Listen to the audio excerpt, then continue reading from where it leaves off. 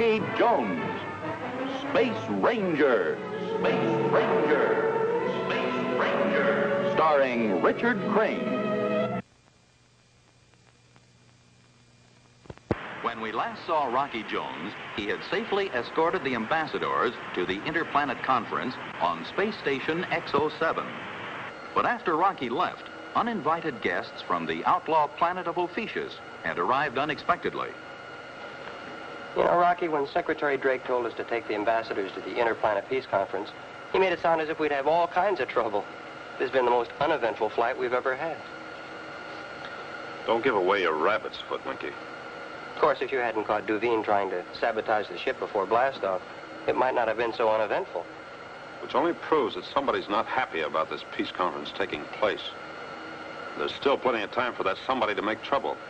Whoever that somebody is. But how? We just left Dr. Tyson and the ambassadors at the space station. Nothing can happen to them there. I hope you're right, Winky. Of course I'm right.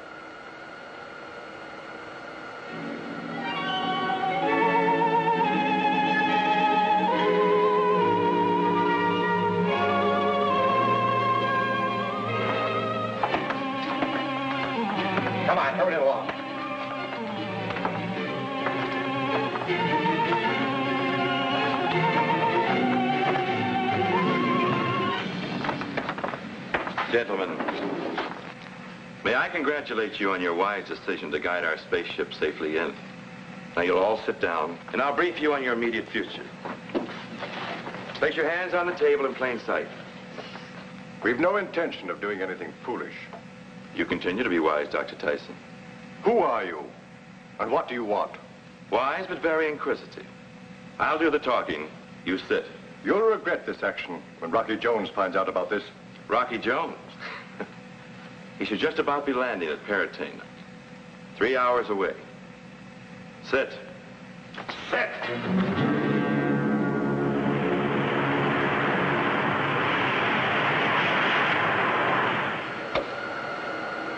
We should be close to Paratane. Uh-huh.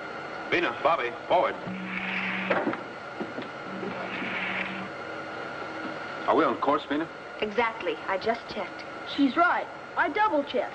Well, we're really flying well equipped. It's not every spaceship that has two navigators. According to my calculations, we should be close enough to make contact and pick up Paratane on the visiograph. All right, let's try it.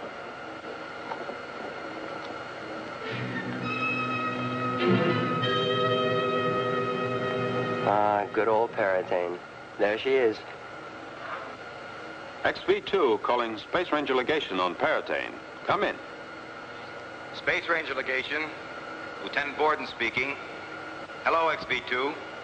Hello, Borden. This is Rocky Jones and crew of the Orbit Jet, requesting landing instructions. You're approaching our ellipse now. As soon as you're in it, I'll take over. Good. Any messages for us? No, sir. Expecting something? No, just wanted. Out. Out. Well, no news is good news, I guess. Oh, everything's fine, Rocky. You're just tired. A good rest and you'll quit worrying. Just the same, I'm calling Dr. Tyson as soon as we land.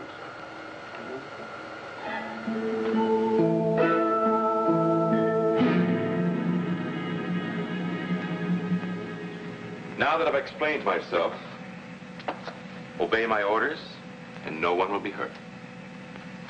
My men will escort you to our spaceship. Move!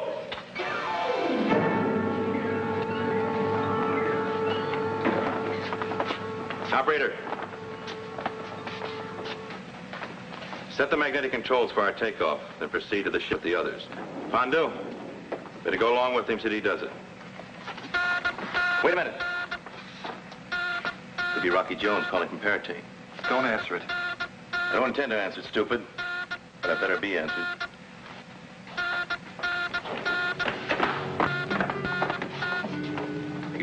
Talk if nothing was wrong. This is Andrews, Space Station X-07. Come in. Andrews, Rocky, just arrived on Paratane. How's everything going? Fine, Rocky. Just fine. Dr. Tyson's here. Oh, good. Let me talk to him. This is Dr. Tyson, Rocky. Everything going well, sir? Everything's going very well, Rocky. I hope I didn't interrupt anything. No, you didn't, Rocky. The orbit jet's being refueled, and if you need us, sir, we're at the Space Ranger legation. I'm sure I won't need you, Rocky. So we'll see you as we planned in 24 hours. Out. Out. Well, Rocky, old Winky's going to dive into Paratane's social swim. I'll see you when we leave to pick up Dr. Tyson in 24 hours. Have fun, Winky. Right. 24 hours? Hey, what'd he say? He said everything was fine. No, no, no, no, no. That, that, that 24-hour stuff. He just said, I'll see you in 24 hours. Say, that's right, he did. But we agreed on 72 hours. I knew it. I knew it. I knew it. I haven't had one honest-to-goodness vacation since I've been your co-pilot. Something always goes wrong. Winky, I think that was deliberate. Dr. Tyson isn't a man who forgets things. He must have had a reason for saying 24 hours. Well, I've got a good reason for wanting to make sure. Look, Dr. Tyson's a very busy man. He has lots of things on his mind. Why don't you call him back and find out? Maybe he got mixed up. You know, I can't figure this thing out. Well, then call him back, Rocky. It'd, it'd be nonsense for us to go tearing back there and find out he'd made a mistake. Here. Rocky Jones calling Space Station XO7. Come in, please. Rocky Jones calling Space Station XO7. Come in, Andrews. Rocky Jones calling Andrews. Come in, XO7.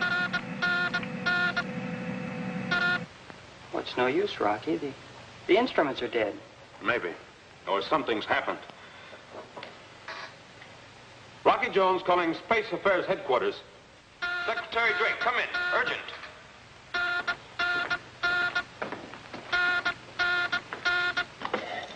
Secretary Drake speaking. Come in, Rocky. I'm calling from Paratane, sir. We just landed here for refueling.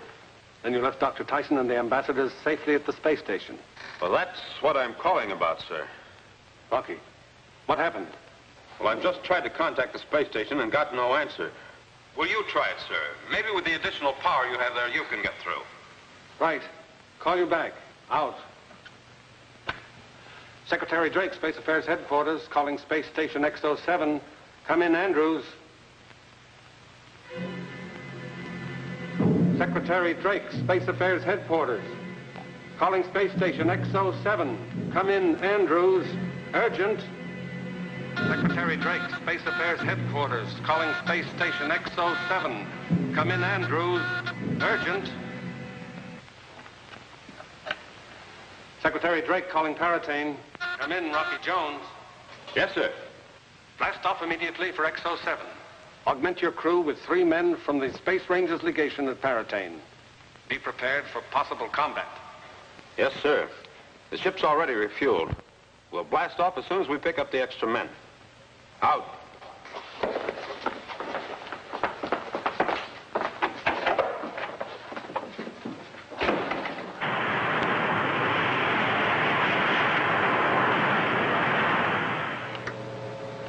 Atlasan, you did a great job. I think Cleolanthe should give you a platinum medal. You liked it, eh, Magny? Everything went off without a hitch. And having Dr. Tyson talk to Rocky was real fast thinking. Lucky call when he did, instead of after we left. I think I'll tell uh, Cleolanthe the good news. Nunalkavar de Governax. Atlasan calling Nunalkavar de Governax. Come in. Atlasan calling Nunalkavar de Governax. Come in. This is Cleolanthe. Do you have good news for me, Atlasan? Operation Surprise, successful. Atlasan, when you arrive in Ophiuchus, report to me immediately. I am giving you a very handsome reward. Well, thank you, Cleolanthe. Out. Magni, if I know the kind of reward our suzerain has in mind, you're looking at the future governor of Satellite 18.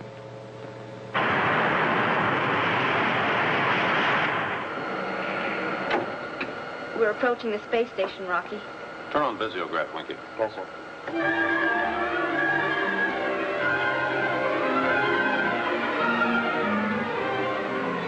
Well, there it is. I wonder what'll happen when we get there. They must be able to see us by now, too. Maybe. Well, they're bound to have picked us up on radar, Vex. Suppose the station's been taken over and they suddenly start blasting us. That's the chance we'll have to take. When we get within firing range, we'll, we'll see what happens. Well, they better not try anything. That space station's a sitting duck for our missiles. XV-2 calling space station X07. Put Dr. Tyson on at once. Answer. No answer. Maybe it's a trap, Rocky. I know something terrible's happened to Dr. Tyson. Trina, Bobby, go back to quarters. When we land, if we land, stay on board with the three space rangers till we know what's what. Tell them to be armed and stay on the alert. That's an order. Yes, sir. Hurry, Bobby. Winky, we're going in for a landing. Can we make it, Rocky, without the space station guiding us? We've got to. We'll use our tractor beam to guide us in. We can balance the ship against the magnetism of the space station. And let's go.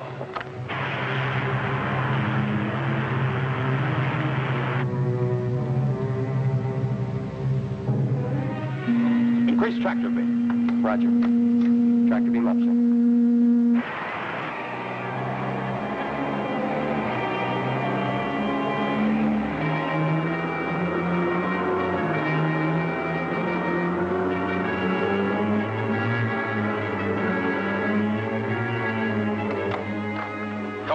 Hatches. Airlock hatches coupled, sir.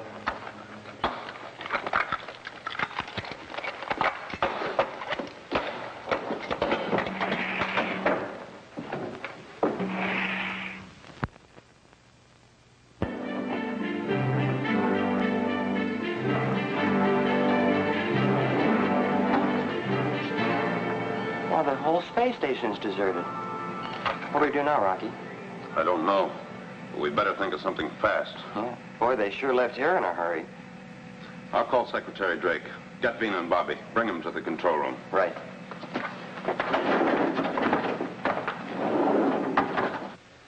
But they can't just have disappeared into thin air. I think we both know what's happened, sir. And who's responsible for it? Yes. And this time she's gone too far. Then you agree it's Cleolanthe. Nobody else could invent such a bold, fiendish plot. But, but why, sir? What does she want with the ambassadors? It's her idea of revenge because we have her two top men, Darganto and Griff, in jail, awaiting their trials. Darganto was her first in command, and Griff was the best spy she ever had on Earth. Yes, I remember she told us in no uncertain terms she'd get even if we proceeded with the trial. Any suggestions as to how we counteract Cleolanthe's vicious maneuver? Yes. Well, why don't you see what you can find out from Darganto and Griff, sir? Maybe they'll drop a clue of some kind. Good idea, Rocky. I'll get right back to you. Out.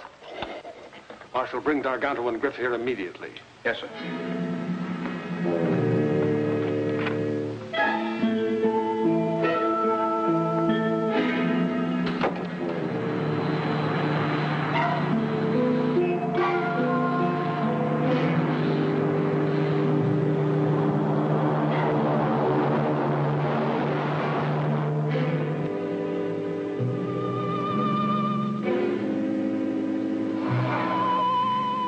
This is Cleolanthe calling the landing base. Tell Atlasan to bring my guests to me immediately. Yes, Cleolanthe.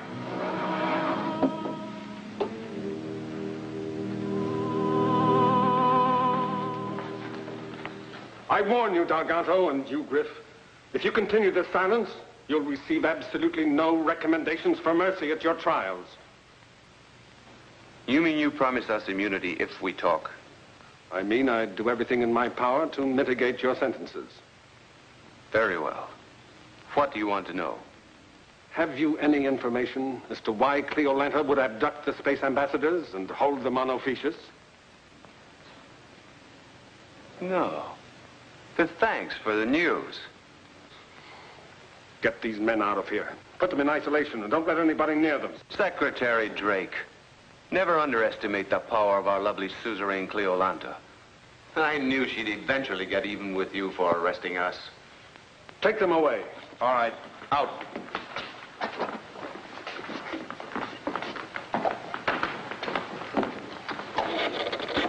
Space Affairs Headquarters calling XO7. Come in, Rocky. Rocky, sir. Go ahead. Darganto and Griff claim they know nothing. I see. I think I should go to Ophiuchus and find out if Cleolanthe's really behind all this. There's really nothing else for you to do, Rocky. Then we'll blast out immediately, sir. Leave Bobby and Vena there so we can relay messages to the space station. Right, sir. Out. Calling space station XO7. Calling space station XO7. Come in. Space Station XO7. Rocky Jones speaking. Come in. Rocky Jones, how nice to hear your voice. This is Cleolanthe. All right, Cleolanthe. Let's have it. I'll come straight to the point, Rocky Jones. I'm holding your space ambassadors as my prisoners. Now listen carefully if you want to see them again. Here are my terms. You will deliver Darganto and Griff to me here at Ophiuchus, safely and immediately. When this is done, I will give in exchange my distinguished prisoners. Is this clear, Rocky Jones? Oh, yes, Cleolanthe. Just as clear as it is treacherous. I consider it treacherous that Earth is holding two of my men to stand trial. Darganto and Griff committed crimes against the United Worlds. According to your laws, they committed crimes. According to my laws, they followed orders. I've stated my terms. If you refuse to accept them, I shall dispose of your ambassadors in exactly the same manner you dispose of Darganto and Griff. I'll expect your decision in one hour. Out. Well, you, you gotta hand it to that Cleolanthe. She's sure the queen of the underhand. What do we do now, Rocky? Space Station XO7 calling Space Affairs Headquarters. Secretary Drake, come in. Urgent. At least they're alive. It could be worse. Secretary Drake speaking. Come in. Rocky, sir. I've just been contacted by Cleolanthe. Take the message on the scrambler, please.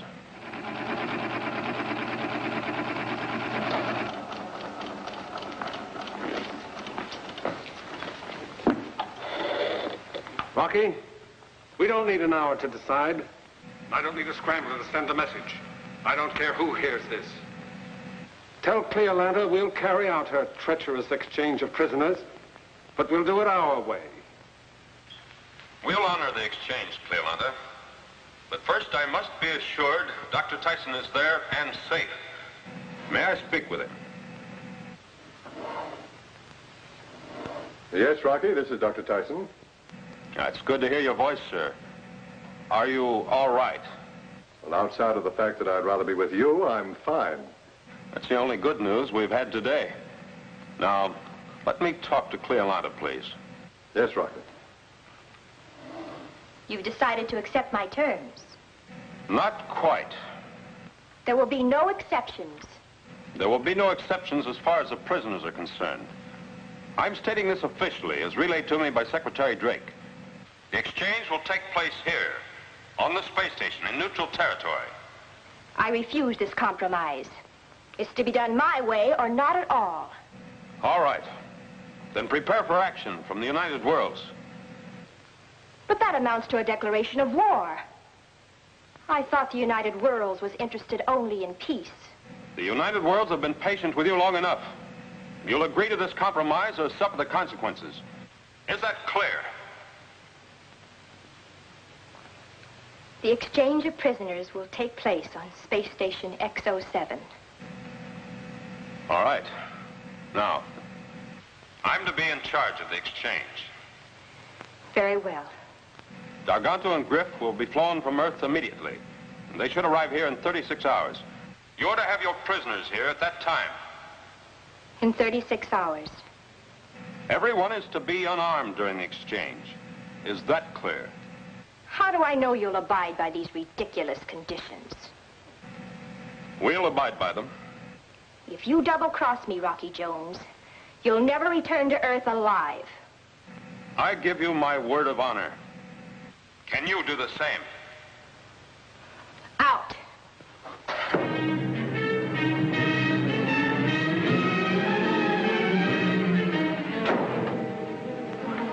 You sure let her have it.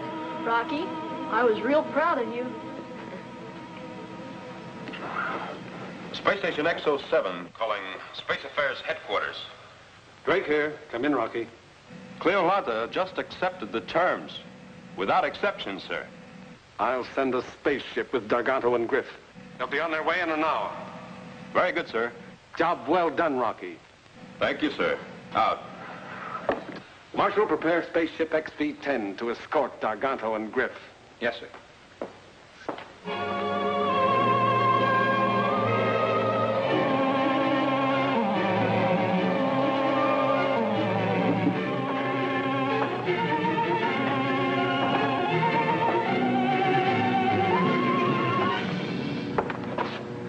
Secretary Drake, thanks for your hospitality on Earth.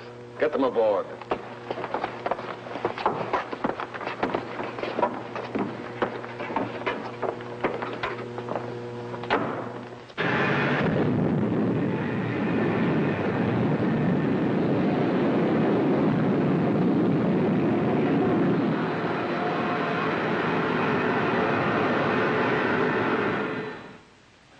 Blast off at 0700 with the ambassadors.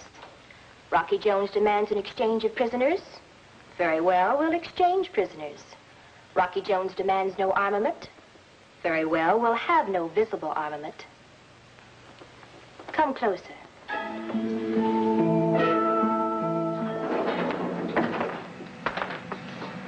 Darganto, you and Griff wait in here. Winky, you stay here with them in case they want anything. I'm going back to the control room and guiding the Ophiuchan spaceship. It's been almost 36 hours. They should be here any minute, if they come. They'll be here. I'm the most important officer Cleolanthe's ever had. She went to a lot of trouble to get me back and showed you up for the fools you really are. Winky. I could handle that mosquito with one hand. Rocky, tell him to shut up or I'll paste him one. Rocky, we've sighted a spaceship on a visiograph. Watch him, Winky. And, uh, no more arguments.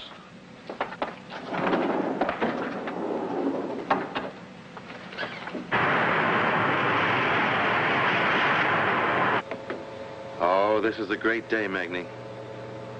Why? Bringing Darganto back to Cleolanthe? That means you'll move back into second in command. That's exactly what Darganto's expecting, too. When I finish with this operation, Cleolanthe will be so pleased that she'll hand me another reward. You know something you're not telling me. Come in. XO7 to the Nautilus. Our magnetic coupler is guiding you. When you come in, proceed with your prisoners to the conference room. Immediately. Out.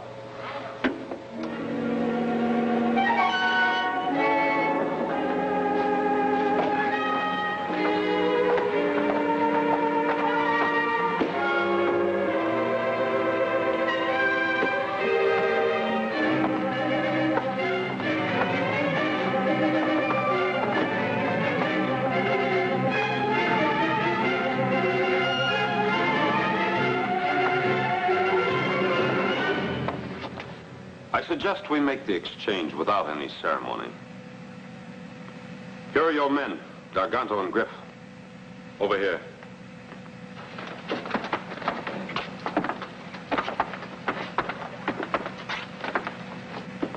I'll take over Mir Atlasan. You return to the ship. You'll feel a little better after some rest. And I'll see that you get it. Starrick, take Darganto and Griff to the ship. I prefer to stay here. Stay if you like, but don't interfere. And now, in fair exchange, we return our prisoners. Gentlemen, welcome home. So are the Rocky? Yes, dear. Oh, I see. Space Ranger, glad to see you. See. Sir. Prisoners exchange is agreed, right? Yes. And convey my congratulations to Cleolanthe for keeping her word. Draw. Atlasan, what do you think you're doing? We're taking Dr. Tyson back to Ophiuchus to stay. Well, I should have known Cleolanthe couldn't keep an honorable agreement.